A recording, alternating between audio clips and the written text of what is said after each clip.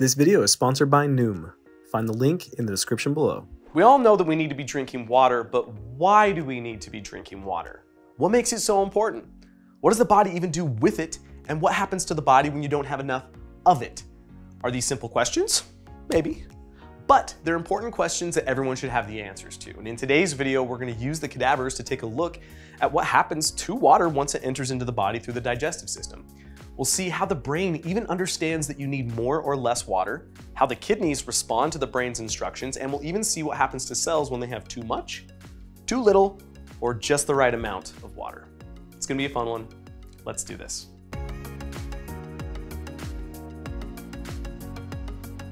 Thirst occurs when there's a need for an organism, such as you, to find and consume water. As you probably already know, without water, you die within a few days, depending on the exact circumstance. I mean, if you're in the Sahara Desert with no protection from the elements, you're likely to die a whole lot quicker than you would if you were in other environments. But all in all, you tend to die within a few days. In contrast, humans can survive without food for weeks to months at a time, again, depending on the exact circumstances.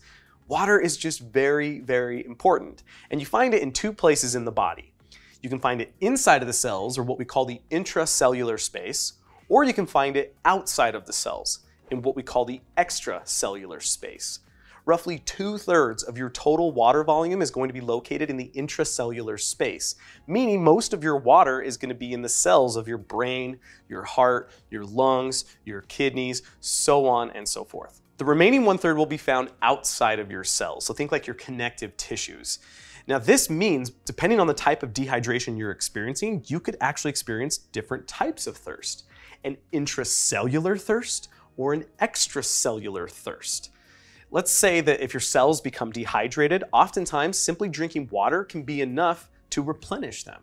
However, if you lose blood, because blood contains water, let's say you get a cut on your arm, that could mean that you need water and salt to help regenerate the blood at its correct concentrations. This could mean you might need a meal to go with your water to fully quench your thirst, although I'm not entirely sure that's the best way to describe it. You might be wondering how much water you should be drinking per day.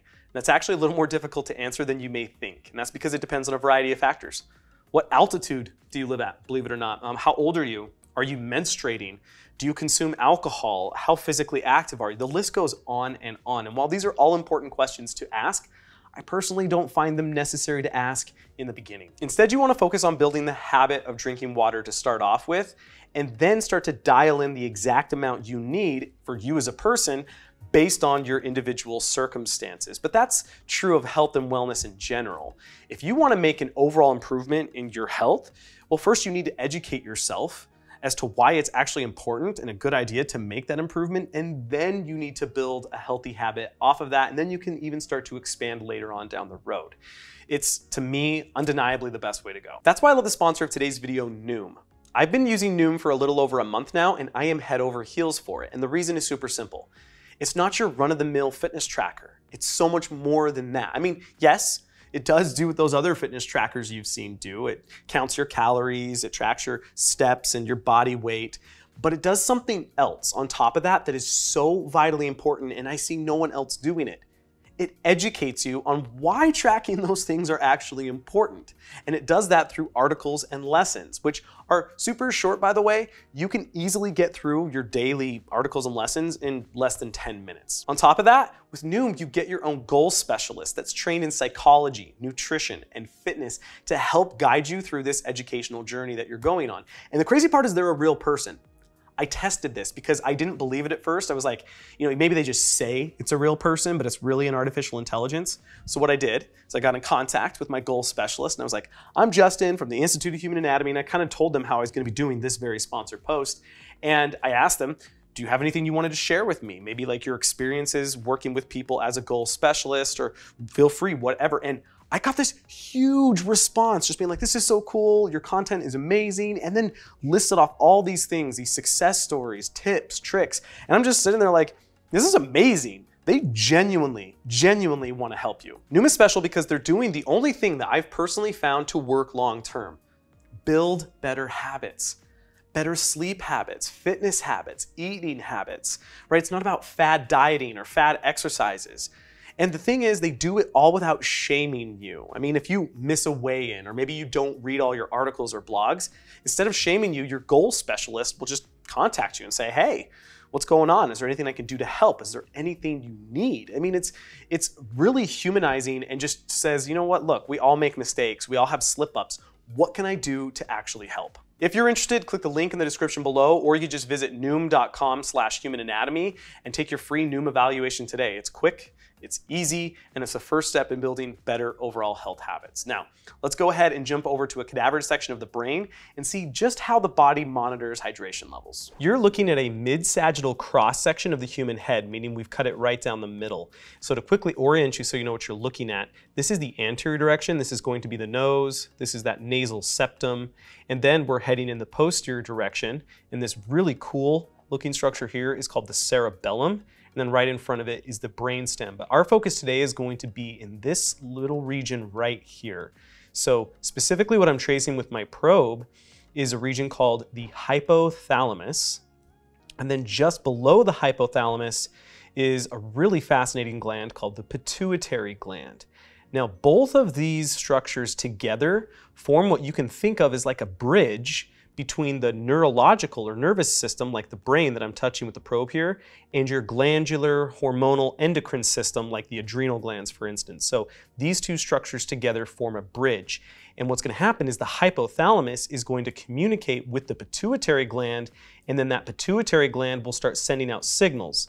Now, the messages it's communicating are typically based around something called homeostasis. So you can think of homeostasis as your body's natural balance or, you know, as close to being balanced as possible. And the hypothalamus job is to try and bring the body back to homeostasis or at times actually bring it away from homeostasis. It really depends on the circumstance. But a real easy thing to wrap your mind around would be like body temperature, which is about 98.6 degrees Fahrenheit, or I think it's 36 to 37 degrees Celsius. I forget which one it is.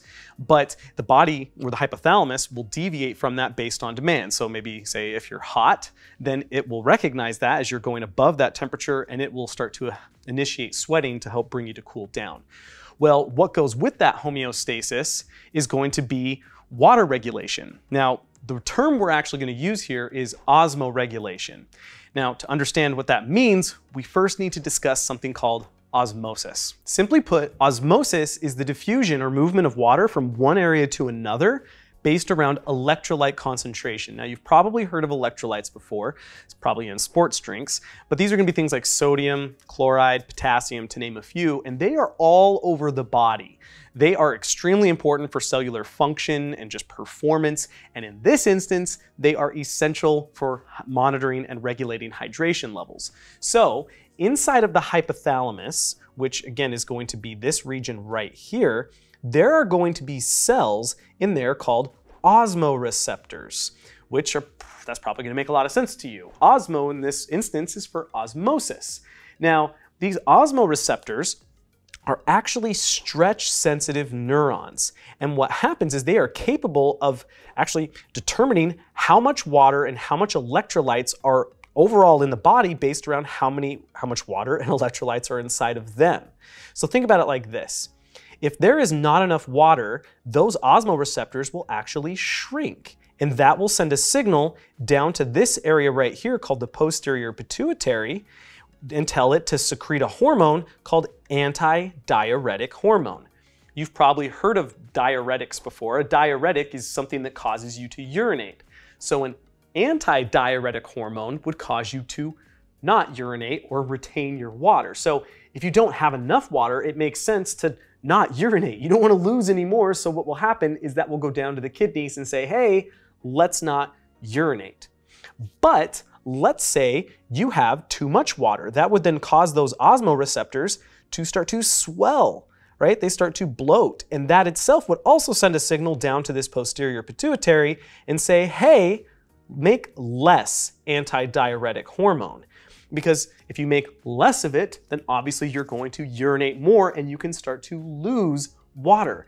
It's all about balance. Remember, it goes back to that term that we just mentioned, homeostasis. Now, osmoreceptors aren't the only ones in the body monitoring hydration levels. In fact, they belong to a larger regulatory pathway called osmoregulation. One other example of neurons that are osmoregulatory are what are called baroreceptors. These are going to be located inside of blood vessels, specifically arteries like the aorta, which is going to be coming out from the heart, and they are monitoring blood pressure. So I mean, picture this, right? There's water in your blood, so if you have too much water in the bloodstream, that's going to elevate blood pressure.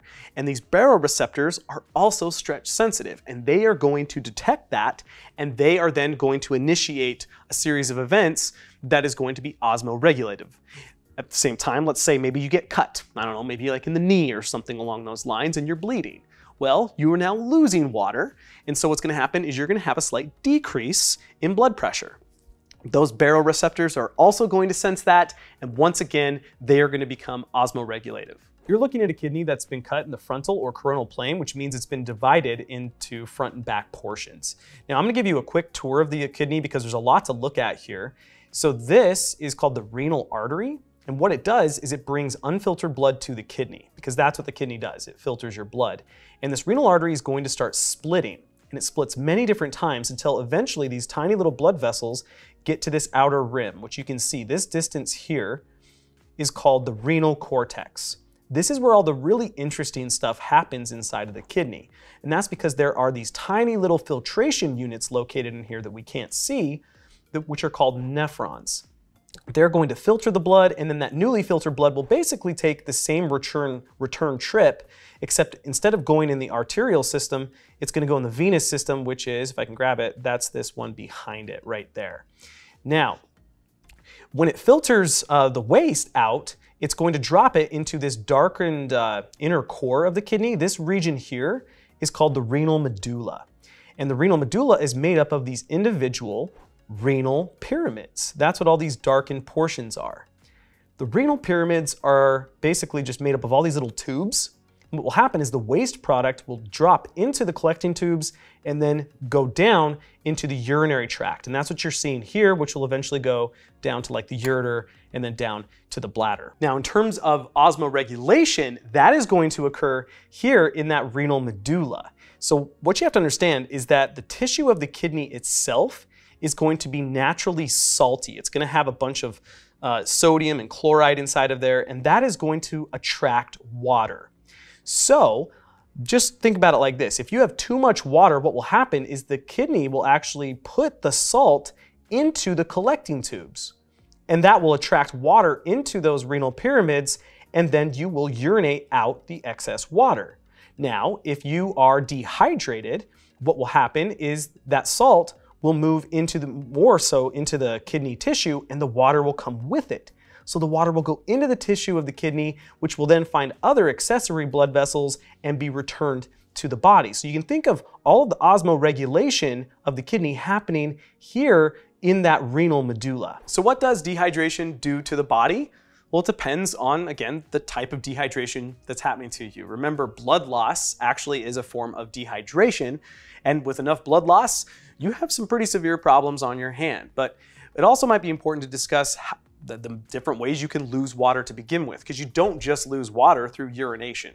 You lose water through breathing and speaking, through crying, through sweating.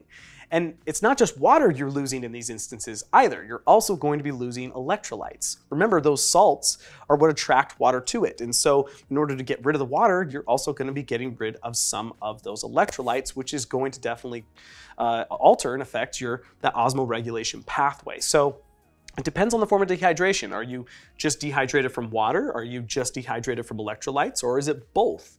And in what amounts? But in the end, it's going to affect the performance of the cells, the individual cells themselves.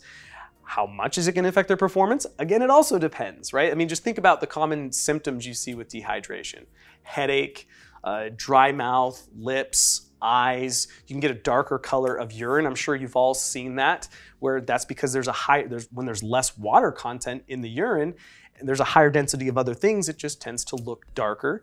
But you're also going to get confusion. You'll get fatigue. And the worse the dehydration gets, the worse these symptoms will get to the point where it's not just confusion in the late stages of dehydration, it's borderline delirium to the point where you're psychotic. So, what's happening to the body? Essentially, you're just dying. And you're dying very slowly in the initial stages, and then you're dying very quickly in those later stages. Thanks again to the sponsor of today's video, Noom. Be sure to click the link in the description below and take their quick and easy free evaluation, and you can start building better health habits today. As always, be sure to like, comment, subscribe if you haven't already, and just good luck hydrating out there, folks. Be sure to consume electrolytes on top of that water to optimize these hydration levels, and I will see you in the next video.